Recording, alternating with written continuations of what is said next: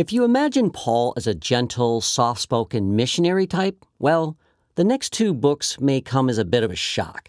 1st and 2nd Corinthians provide a snapshot of Paul's relationship with the church he started in Corinth, a wealthy city in southern Greece. Paul spent a year in Corinth before eventually moving on. He kept in touch, though, visiting from time to time and exchanging letters. One of these letters, 1 Corinthians, reveals the full scope of chaos that set in following Paul's departure. Every community has its share of dysfunction, but the Corinthians elevated drama to an art form. The church in Corinth was splitting into factions. They were dragging each other to court, neglecting the poor while the wealthy feasted. And that was just the tip of the iceberg. Paul's letter didn't exactly smooth things over, so he made an unannounced visit which prompted even more conflict and a direct challenge to his authority as a leader of the church. Paul left abruptly and penned a sharp letter of rebuke, which we don't have anymore. Then, awkward silence.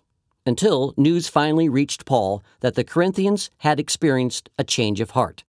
They still had their share of problems, though, including a roaming band of self proclaimed super apostles, which had rolled into town since Paul's last visit so he wrote another letter, 2 Corinthians, affirming his love for the community in Corinth and addressing some of the new challenges they were facing. 1st and 2nd Corinthians follow pretty much the same pattern as the other New Testament letters. Paul covers a lot of ground in his first letter, answering the Corinthians' questions and confronting some of the more alarming reports that had reached him. In 2 Corinthians, Paul relays what he'd been up to after his unexpected visit to Corinth he expresses relief at their change of heart and warns of some difficult confrontations still to come, especially concerning these so called super apostles. Paul can be a bit uh, hard to take in 1st and 2nd Corinthians. He's intense, angry, even sarcastic at times.